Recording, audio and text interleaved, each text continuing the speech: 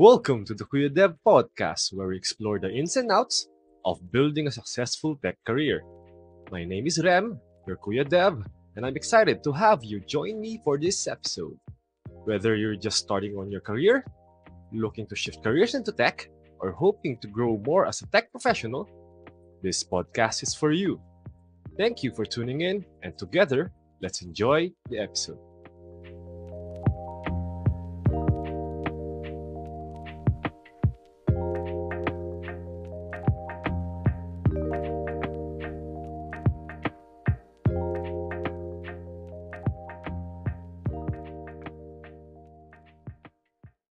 Welcome to the halfway mark of the season of Kuya Dev podcast. So, as promised, this is the final part of our interview with Miss Sandy Laugico, and I hope you enjoy it as much as I enjoyed interviewing her. And uh, marami rin ako natutunan. Sana kayo rin. So, yeah, let's get on with it. Huh? And I present you the final part of our interview. Kasi pa isa-isa lang apply ko per per week nun eh, in September. So, medyo maba hindi ako nagma-mass apply kumbaga. Mm. September to January, tingin-tingin lang sa Jobstreet, ganyan, Indeed, tapos sa LinkedIn. Although yung, ewan ko yung LinkedIn nun parang ang hirap din maghanap pa ng work at that time. Mm-hmm. Sabi niya yun, apply lang ng apply. Yun yung ginawa ko, hindi na ako nagbabasa Oo, di script. ba? So, Yeah. makita ko, meron pa nga ako nasendan na na data engineering din. Although at that time hindi ko rin alam yung job title na na yun na nag-e-exist. So meron din akong interview tapos ah, hindi rin ako, wala rin akong alam, hindi ko rin alam paano sagutan. Although Google Docs lang yon tapos parang ira-write mo yung Python ah, code sa document. Tapos Ah. hindi ko rin alam paano gawin. Kasi parang iba rin yung Python for kunyari software development or data engineering. Iba rin yung Python for ano, for data science or Ah. learning.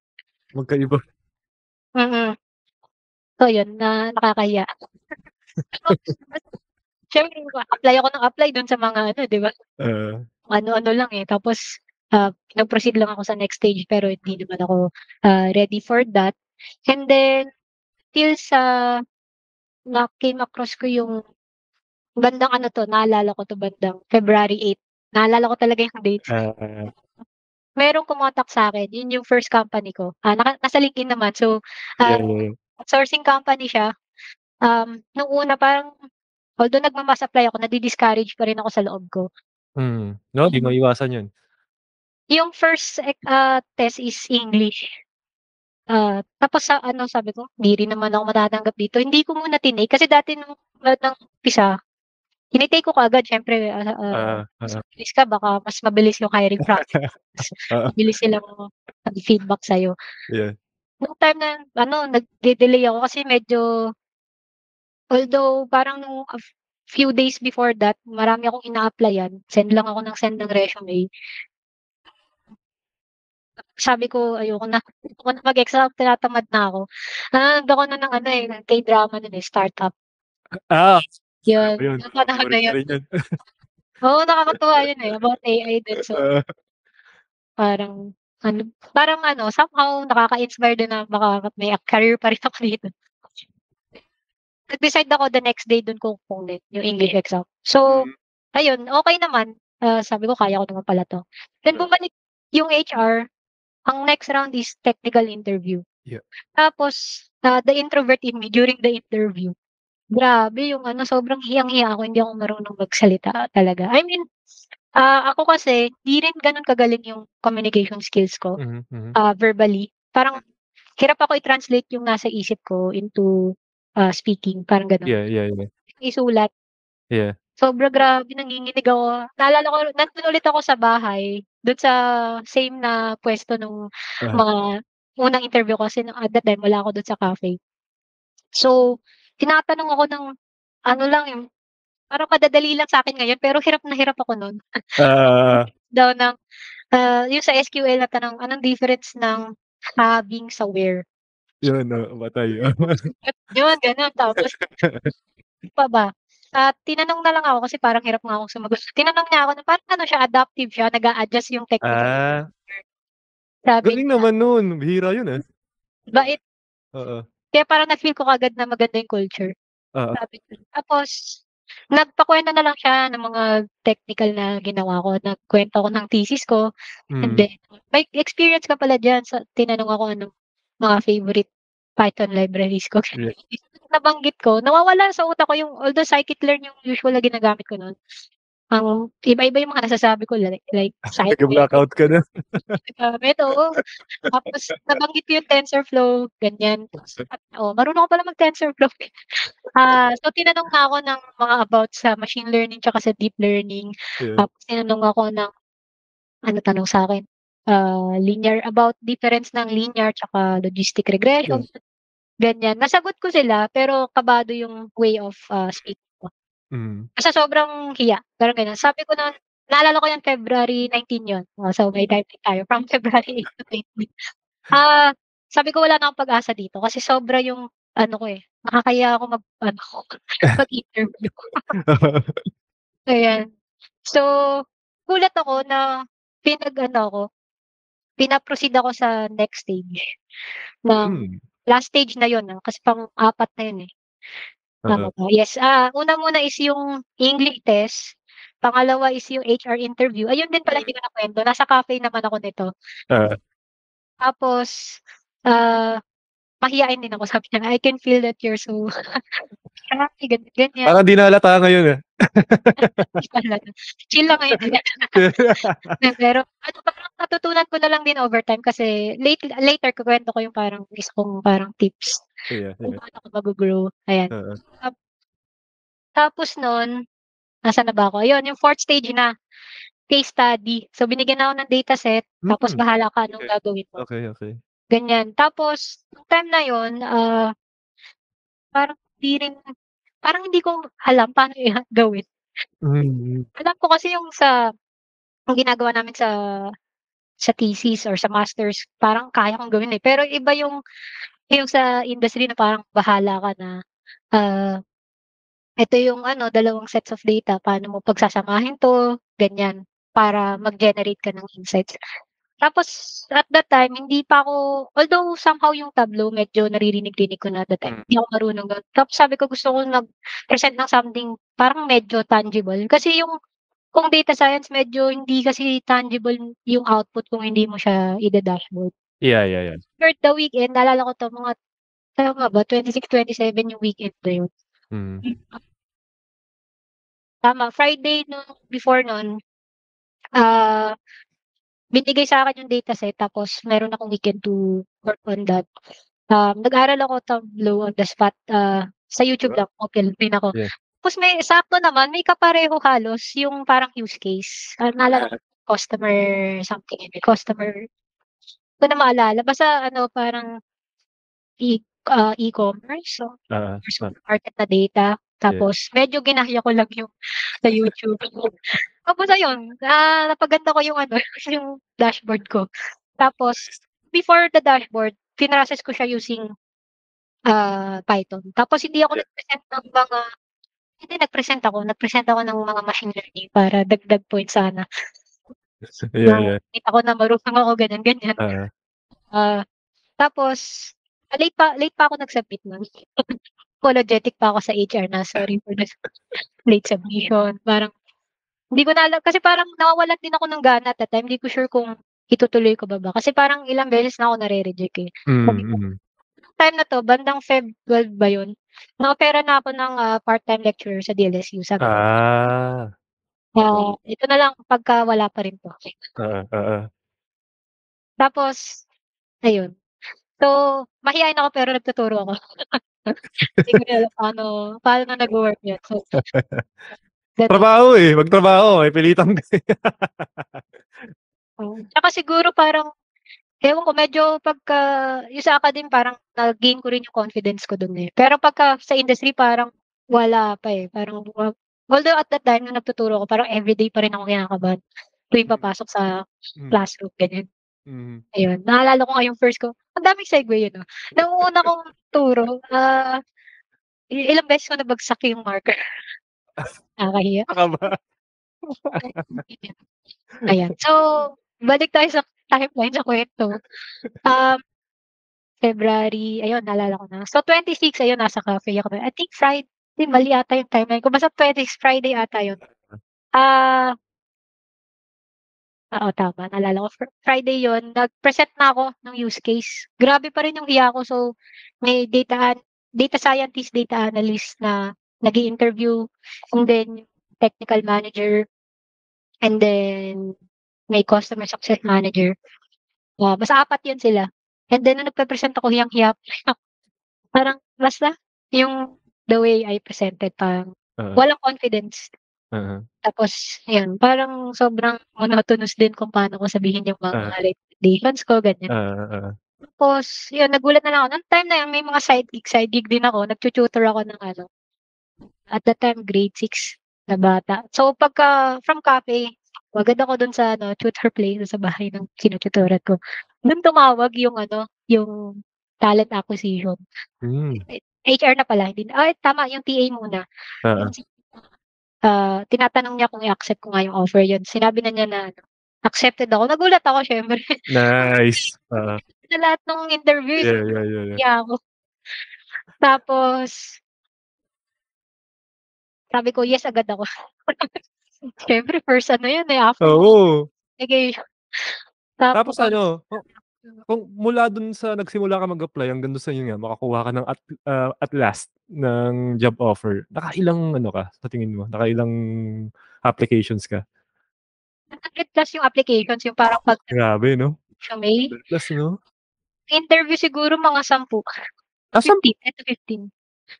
Okey, okey, okey. Hindi ko na rin maalala kasi sobrang hiyang-hiya na ako. Parang sana yung. Parang wala na akong i mukhang ihaharap. Ano, Nakuha na ako. ako nung ano Ayun, eh. Oo, papaano na yung ano nung nung nakuha mo na yung job offer, ano na naramdaman mo nun? Ko talaga ano, ah, yung HR narinig talaga niya na ano, sobrang saya ko. Sabi niya, "I was rooting for you," ganyan, ganyan. Mukhang maganda yung culture nga nila kung ganun sila 'no? Mm, oo. Tipong nakasubaybay sa'yo. Oo. Tapos alam kong graveyard graveyard shift yun. So, nung Hmm. time na yun hindi ko pa iniisip na parang problema yun sa'kin or Hmm. kaya ah, sanay naman ako nung college na ano, na hindi matulog ganyan. Oo. Yun, pagkabigay sa'kin nung job offer, yung mismong ano, yung naka-PDF. So, Yeah. pinirma agad ako, hindi ko nga binasa. Wala naman. Ah, hindi ko alam kung Baka uwian, eh. Hindi ko alam kung merong anong tawag dun, yung dapat mag-stay ka ng 3 years sa company, hindi ko binasa. Wala, wala. Yun naman binasa ko pero parang ano, eh, parang out of the 100 plus applications parang is ano, parang a-gem pa. Oo. Ako choice ito na lang, sige. Wala Ganun wala na. na ring nego, hindi ka na nakipag-nego. Hindi na. Pero, um, okey din naman yung ano nun, yung yung actually, ang nangyari pala sa'kin nun binabarat ko na yung sarili ko, ah, sa Ah. ilang months na yun kasi hindi nga ako ina-accept, eh. Oh, yeah, yeah. Tapos, ah, nile-level ko na yung mga asking price ko, ah, sa parang dun sa allowance ko na 25K or tinataasan ko Hmm. ng konti na 5 to 10 ganyan. Mm. Tas nagulat ako nung in-offeran ako ng malaki. Malaki, ah. Mas mataas dun. So Okey. ah an yung meron kasi akong mga na ano rin interview na parang sabi sa'kin, ah, hindi ka pa naman ano, eh, nakaka-5 years, eh. Parang Oh, may nanggaganon talaga, oo. na Hmm. tapos parang, ah although nung time na yun medyo hindi pa ako aware sa parang culture or kailangan ko i-consider yun at that time. Mm. Basta matanggap ako, okey na yun. Sabagay unang ano mo pa lang, eh, unang foray mo into industry, eh, so understandable, eh. Mm. Tapos yun, ah, March yung first ano ko, ah, parang a few days before, ah, before ng birthday ko. Ah, nice. Age reveal ako dito. Wag kang mag-alala. Hindi wala tayong ganon dito. Kasi ngayon unang-una ngayon ako nag nagre-reveal ng age. Safe safe ano tayo, safe space. Ayan. Before birthday ko yung ano hindi okey lang. Ayan, so before birthday ko yun ah, parang parang it was the best birthday. Yeah. Pero nung ano naalala ko March 10 yun, eh. So nakakatawa pa dun yung, ah, invitation na sinend sa'kin is ano Uy, nakita ko merong isa pang, ah, papara papasok. Nagulat ako familiar yung pangalan niya. Na-realize ko kaklase ko pala siya sa DLSU. Pero Kayo pala. close. Oo. Yun. So, ayun, may kasama agad ako. Nice. So, Nice. Pero ang problem nun, nung time ng first day ko, ah, pinag-report lang kami ng 2 AM until 6 AM. Ah, Tapos after nun may class ako, tin tinanggap ko pa rin yung ano, yung, ah, lecture. ka kayod, ah. Eh, ang ano ko nun 7 AM to hindi 6 hindi 7 AM to 1 PM. So, dalawang Grabe. hours. So, galing ka ng graveyard tapos nagtuturo ka sa umaga? Tapos hindi rin ako nakatulog nun kasi hindi ako sanay, ganyan.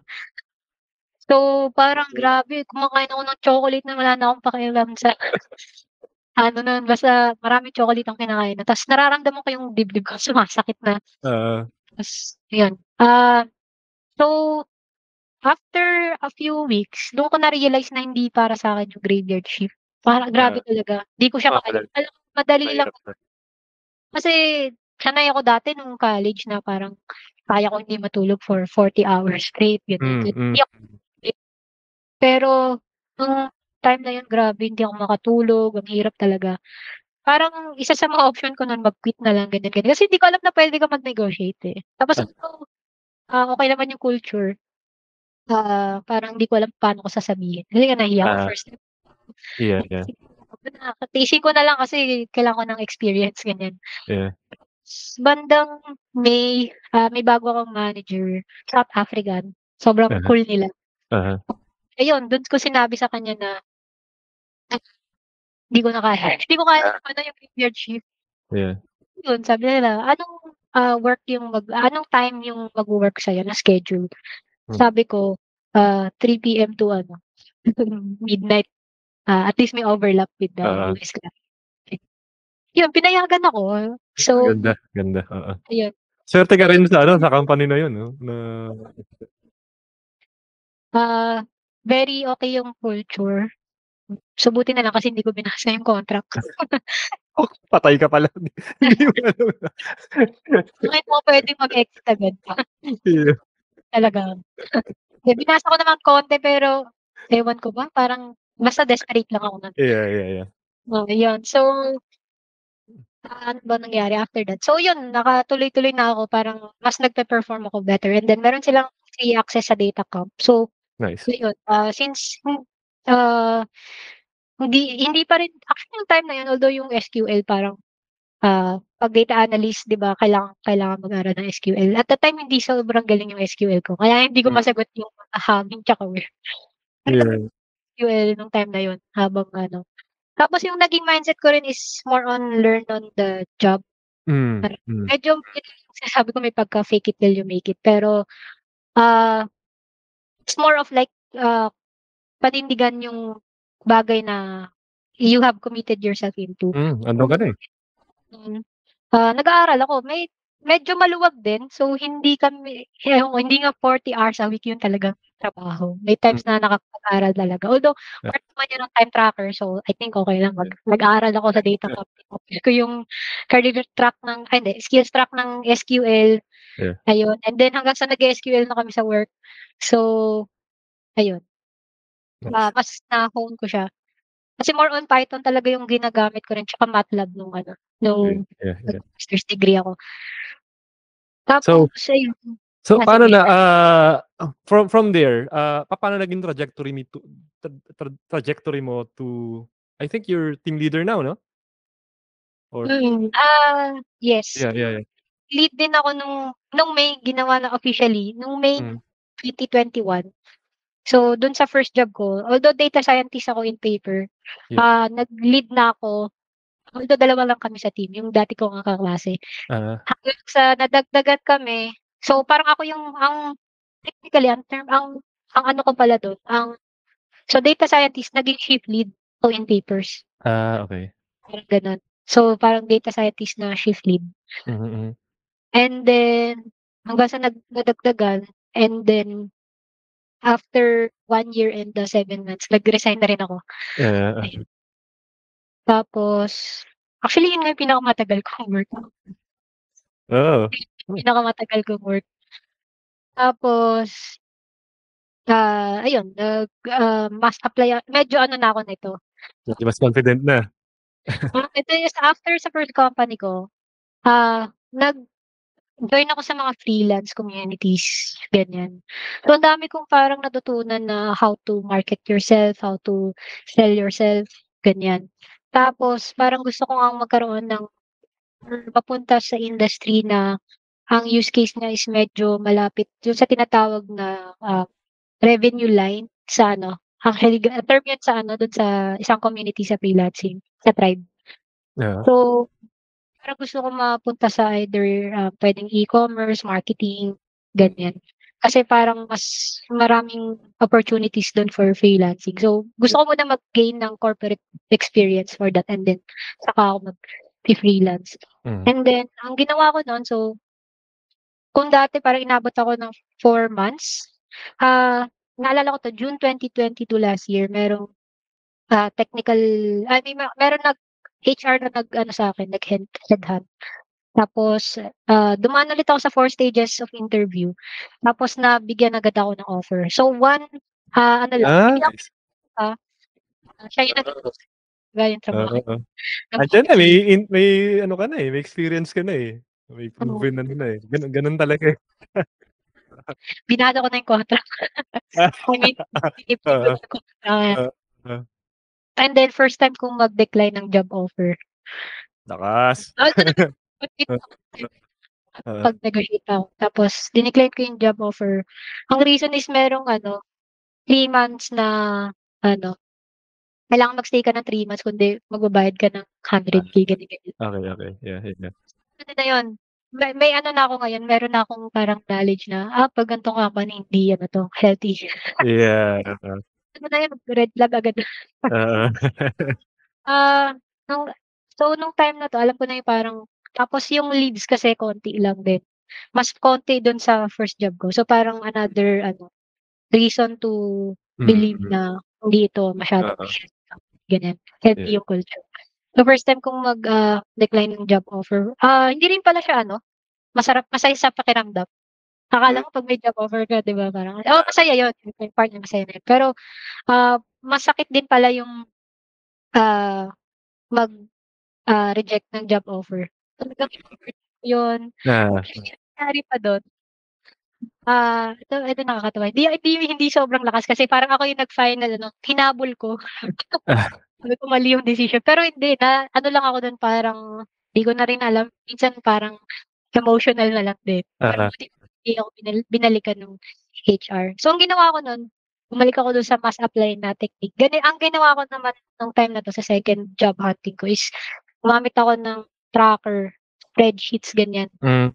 Ah, naka-spreadsheet sa'kin yung lahat ng, ah, i i-interviewin ako for HR interview. So, hindi ko hindi ko naman ini-spreadsheet lahat ng mga in-applyan ko. Ah, ini-spreadsheet ko lang yung mga meron akong interviews.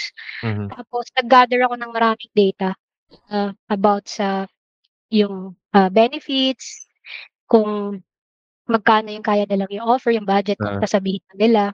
And then nagtanong din ako ng mga questions that would lead me to understand more of their culture like, ah, Yeah. how often do you promote, ganyan. Yeah, yeah. How ah, how is it like, ah, ah, working, ah, sa day-to-day basis, yun yung mga tanong ko. Tapos gina-gather ko yung data na yun. Hanggang sa, ah, parang nalalaman ko dito yung mga companies na green flag for me, parang ganyan. Yeah, Yun, iba na, bago ibang-iba na Ano na talaga. ngayon. Yeah, yeah. Hindi ako hindi lang ako yung ini-interview, I also interview the company. Yeah. Kasi kung may leverage ako nun, hindi pa ako nagre-resign, eh. So, Mm. kung walang mag-reject sa'kin ay mag-reject, mag-accept sa'kin, ah Okey lang. okey lang. Hindi naman di talaga ako nag sobrang naghahanap talaga. Parang gusto ko lang din makita kung actually nagda-doubt din ako sa sarili ko na titignan ko lang kung may repeatability ba. Baka din ako sa Tine-test mo lang rin? Oo.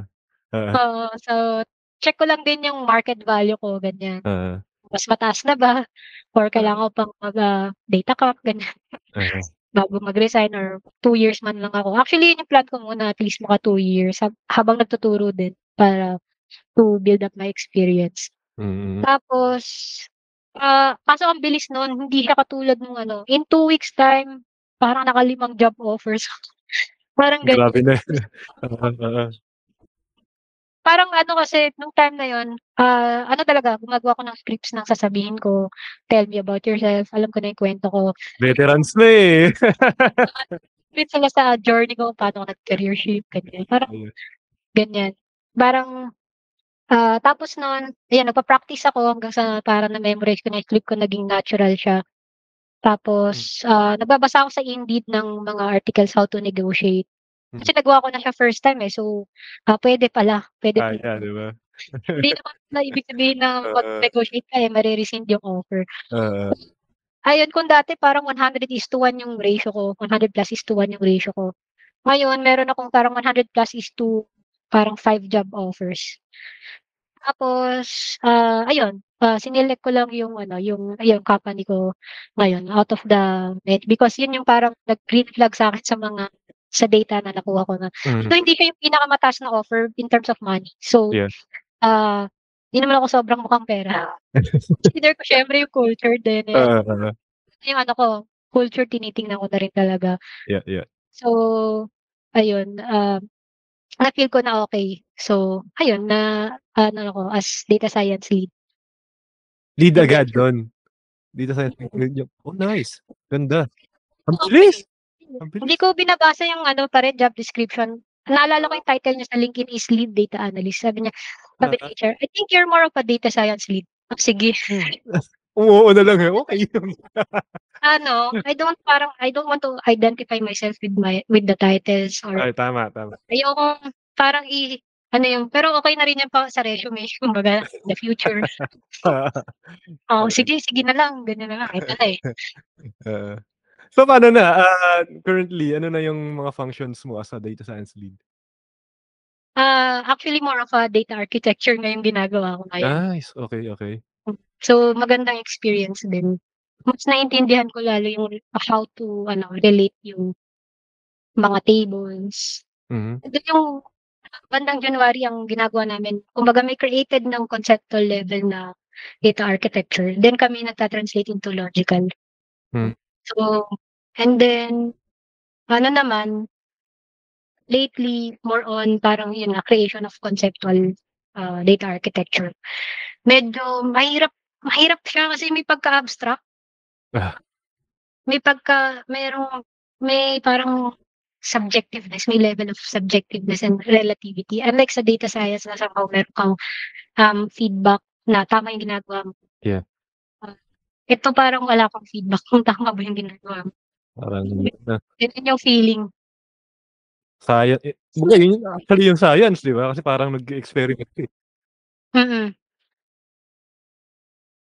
Yan, may halo siyang creativity, yung data architecture. Pero na-enjoy mo naman? Yes, na-enjoy ko siya. Kung may mga, ah, naging parang more on nagpo-provide lang ako ng advice on how to ano, kasi may parang analytics project din. Ang naging role ko lang dun is more on providing advice on how to properly transform yung dataset. Pero hindi ako yung mostly nag-ano, implement.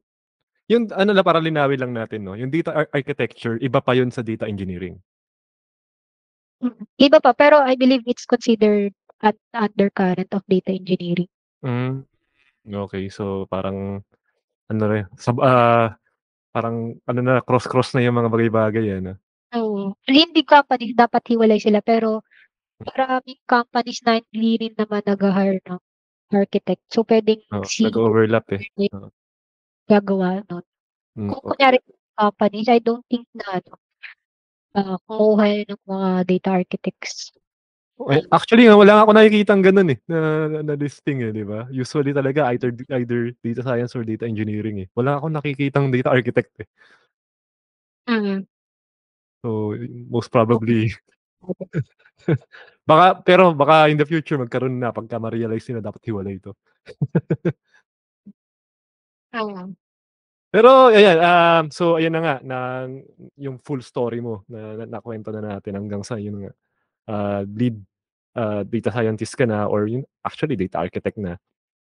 Um, what's next? Parang ano yung gusto mo na ngayon marating? Actually, gusto ko nung una or nung mga re nung first months ng year na 'to, leaning akong mag, ah, shift into parang the engineering side of data, yun nga. Mm. Engineering, Right. engineering. Yeah, yeah, yeah. Yan yung parang gusto kong trajectory. Kasi I think marami pang need dun sa for example, sa data engineering. Ah, buti nga parang nag-shift eh. 2019 parang mas maingay yung data science. Oo. Then Nare-realize nila ngayon engineering yung kailangan nila. Kailangan nila munang i-build yung kumbaga yung foundations ng Yeah. data. So, Yeah. parang keen din ako on having an experience working as a data engineer. Parang ano ka na, eh, 'no, papunta ka na sa full kung may full stack man sa data, yun na yung papunta mo, eh. Parang covered mo na lahat. Actually gusto yeah, sobrang ano lang din ako, curious at talagang, ah, learner kumbaga in nature. Ah, if you're familiar with Clifton Strengths, yun yung, ah, top top strength ko is learning. Yeah. Although parang Di ko alam kung driven lang din ba ako ng pera kasi I believe na, um, learning is equivalent to earning. Kaya yun yung advocacy ko, yung parang Yeah. learn public na may slash sa L tsaka sa E. Kasi I believe na proportional or directly proportional yung ine-earn mo sa nile-learn mo. Yes. Kung ano yung alam ano, ah, alam mo, yun talaga yun, eh, magiging kasi kung naka-convert mo sa to value yung alam mo, dun talaga lalabas yung monetary value mo naman, 'di ba? Parang may business value ka, so yung monetary value mo aangat din. Kasi dami kang alam, eh, 'di ba? So, yeah, tama tama yun, tama at, ah, sobrang gandang insight nun. Tsaka parang ayoko na rin ayoko mag-specialize. Ah, Hmm. hindi siguro yung reason ba't hindi ako nag-PhD, ayoko ng specialization. Mhm. Okey lang maging ano, all trades, ah, for me. Generalist ako. And that's the whole interview with Miss Sandy Laugico, a former engineer turned data team lead, 'no? So, if you want to reach her, ilalagay ko yung yung mga contact details niya sa sa description nitong episode. And with that, thank you for joining me for the mid-season, um, special interview of another tech professional. Sana marami kayong napulot. I'm sure na magagamit niyo yon in your own journey, uh, in the tech world. So yeah, uh, see you again next episode. Thank you for joining me for another episode of the Kuya Dev Podcast. If you enjoyed this episode, please like, subscribe, and share it with your friends and colleagues. If you have comments, suggestions, questions, stories you want to share, or any topic you'd like for me to discuss, drop me a message via kuyadev.com/contact. You may also join our community by visiting techcareershifter.com. Until next time, keep learning, growing, and chasing your dreams. Thank you again for listening, and I'll see you in the next episode.